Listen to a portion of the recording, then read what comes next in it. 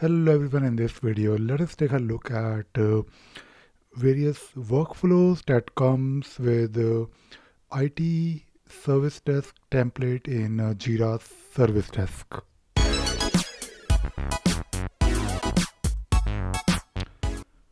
In the previous video we spent some time looking at uh, how to create a queue. In this video let us uh, take a look at uh, various workflows in Jira Service Desk, of course. Now, when you're working with Jira Service Desk, and uh, in case you're new to Jira, in case you are trying to evaluate Jira for the very first time, and you think maybe you can uh, use Jira Service Desk, the good thing is, the good news is that Jira Service Desk comes with a template and based on the template you will get some configurations and uh, you can start using Jira Service Desk from day one if you want. And of course later on you can customize it you can modify it. And uh, that is something re really good about jira.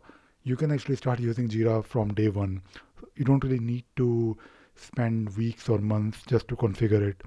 Now when you are working with the jira service desk jira service desk can uh, support your uh, standard ITSM processes and it it comes with uh, some workflows that can support your uh, existing processes and you can always modify it further. So in this video, I just want to show you these workflows and uh, these workflows uh, will help you in understanding whether this IT service desk template is the right template for you or maybe it is uh, uh, totally uh, different from what you're looking for. But in my opinion, these uh, uh, these these workflows uh, are quite standard when it comes to uh, using Jira Service Desk for ITSM ITIL based processes. So if you look at the first uh, workflow for incident management, and by the way, when you use IT Service Desk template, it will have uh, some issue types. So right now we have issue types like change. If you look on the left hand side, we have incident, problem, service request, service request with approval, subtask and, and task. And each and every issue type or rather uh, most of them I believe uh, they have uh, their own uh, workflow. Now the first uh, workflow is uh, incident management and incident management is something really common for most of uh, the service desk. Whenever you set up a service desk, it is uh, more or less for uh, for your customers to report incidents.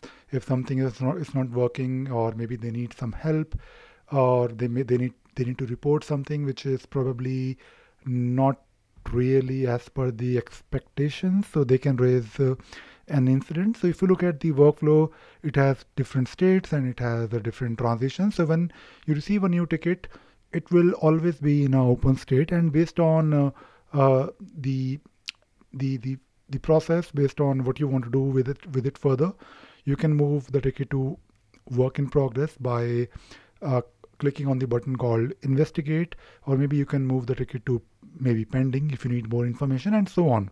So this is your incident management workflow. Similarly, you can also have problem. So let us say if you receive a similar incident uh, for uh, for one of your service or maybe one of your product. Let us say people are reporting that your that your printer is not working, your uh, your specific machine is not working, and uh, you may be able to respond to them by giving them a solution or a workaround but uh, maybe there is a problem. Maybe there is a reason why these incidents are coming uh, every day. Maybe uh, there is something wrong with uh, your machine.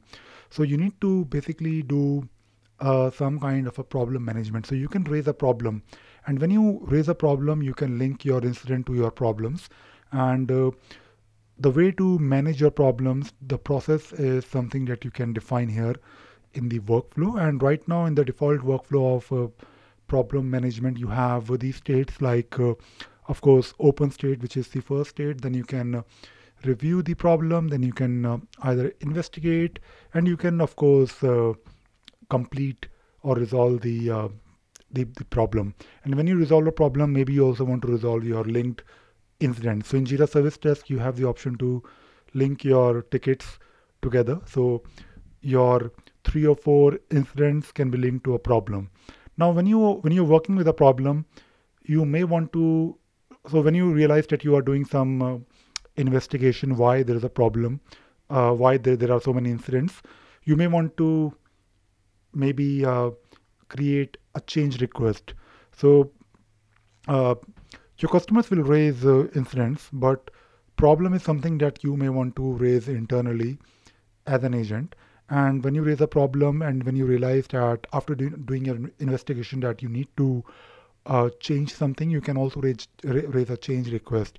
So you can create uh, these uh, tickets that are linked together. So incident is linked to problem, problem is linked to change, and uh, a change could be, for example, if you're working on a printer, a change could be replacing a part, a change could be replacing memory, or uh, a change could be uh, updating your database version to maybe apply uh, some patch or fix. So you can also raise uh, raise a change request, and uh, when you when it comes to change request, when it comes to CRs, uh, you usually need uh, some some approval from maybe a cab or maybe your manager or maybe someone else. So usually in change management there is a there is a process there is a way to get approvals and uh, you can also see it in the workflow where you have uh, let us say when you when you start reviewing your uh, change management you take one approval and you move it to planning stage and then you send it for cab approval. And when you send it for cab approval, maybe one or multiple people can approve. And uh, once your approval is done, then you can start implementing your change. And that implementation could be as simple as uh, changing uh, a part in your printer, changing a toner, uh, maybe replacing hard disk or uh, updating your database version and so on. And uh, when it comes to changes, the moment you resolve a change, maybe you want to let your uh, team who is handling problem know that uh, the change has been done and this problem will not happen again. And uh, it means that people will be able to uh, use the service or the product uh, um, properly now. So the moment you resolve the change you can resolve your problem you can resolve your incident. And with the help of uh, some apps like ScriptRunner you can also automate this process. So the next workflow is uh, uh, service request. So service request is again uh, a very common uh, common process, and uh, it is definitely uh, a standard in usually all the service desk um, tools where maybe as a customer I can raise an incident that something is not working, but maybe I need help. Maybe I need a new keyboard, maybe I need a new laptop, maybe I need uh, uh, something which is uh, uh which is probably working, but I need maybe an, maybe an extension, maybe I need some additional services. So these service requests could be of wide ranges. I mean, the range could be really uh, wide. For example, uh, maybe if you are implementing Jira Service Desk uh, internally in the company, uh, you may want to have uh, service request for onboarding. You may want to have service request for uh, assigning machine or hardware to your new employees. Maybe uh, you want to raise a service request for password reset. You want to raise a service request for uh, um, uh, requesting any hardware. And when it comes to service request in Jira Service Desk, you can use a workflow with approval uh, so we, we, maybe you need a service request to get approved, or you can also do this uh, same service request without an approval. So you have two workflows with you. At the same time, when it comes to doing, let us say, normal task, there is also a default workflow where you can just uh, do things like, uh, you know, I mean, there is no process. It's more about uh, doing something and resolving it. And there is also a simple workflow. So these workflows are there for you to use if you want and these workflows are quite uh, standard if you know about how ITIL works, how ITSM how ITSM based uh, tools work, and of course uh, the best part about Jira is that you can always uh, change these uh, workflows uh, to match your exact uh, requirements or to support your processes. So this is all I wanted to share in this video. In the future videos, we will be, of course, looking at how these workflows can be customized further, but especially in the next video, we will take a, we will take a look at request types. Now we talked about these workflows and these workflows are linked to or mapped to or assigned to issue types in Jira. But on the portal, on the customer portal, you have request types. So customer will raise a request type, which is mapped to an issue type. An issue type uh, can have a workflow. So in the next video, we will uh, probably create uh, a new request type uh, and we will display it on the portal. So I hope you enjoyed watching this video and you learned something new today. Thank you very much.